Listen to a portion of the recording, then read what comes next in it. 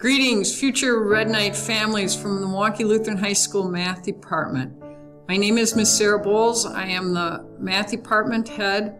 I graduated from Milwaukee Lutheran and I've been teaching here, let's just say, for a lot of years.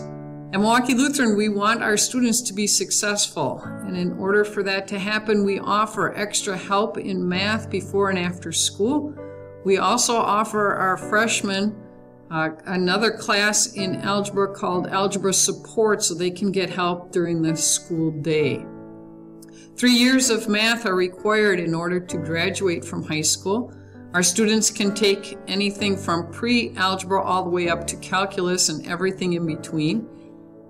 AP testing for college credit is available through our calculus class and through our probability and statistics class.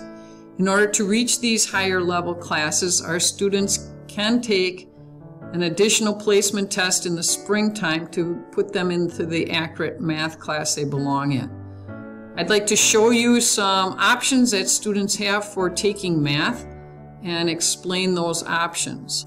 Here's the chart that shows the various classes that students can take in math from algebra straight down the list to pre-calculus or if they start as high as honors geometry and follow all the way through to calculus AB.